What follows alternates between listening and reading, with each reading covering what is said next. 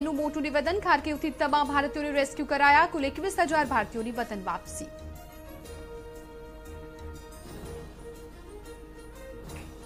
page કમિટીનું કામ પૂર્ણ ન થતા રાજકોટ ભાજપના નેતાઓ પર બગડ્યા પાટીલ કમલેશ મિરાણી અને અરવિંદ રિયાણીના લીધા ક્લાસ